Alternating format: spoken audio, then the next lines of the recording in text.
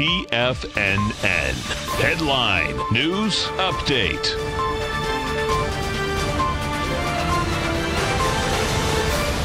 Good afternoon, everybody. I'm Tommy O'Brien, coming to you live from TFNN headquarters in St. Petersburg, Florida. 1 p.m. Eastern Time on Wednesday. Three hours left to go in the trading day. And we got markets in negative territory.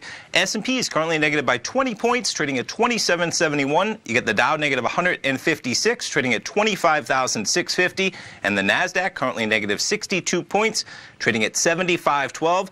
Notes and bonds, higher price, lower yield. 10-year note up 12 ticks, 122.08. 30-year bond up 23 ticks, 145.04. Gold contract up two bucks, 12.87 on the dot. We have oil negative 61 cents, trading at 55.96. We got EIA numbers at 10:30 Eastern Time, showing a build of about 7 million barrels, quite a number. And dollar index basically flat, trading at 96.810. We'll start it off. Let's jump over to the futures charts. We'll start it off with the Dow. So it's been quite a cascade since just before the opening bell. Putting things in context, there's your 830 bar.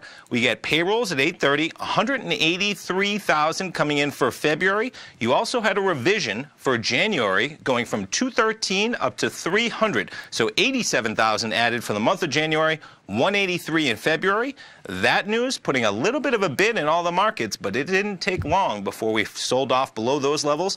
You saw the Dow going from 25,829. We're now approaching almost 200 points below that level, 25,652.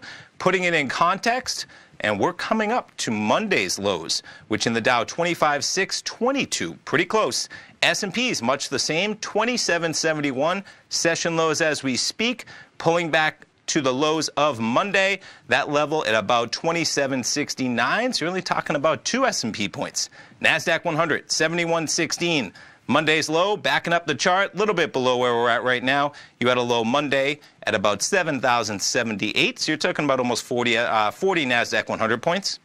Crude oil, there's some volatility for you. We get the EIA number at 1030. There's your number there. You see crude. Pretty surprising, too. You get a build of 7 million barrels.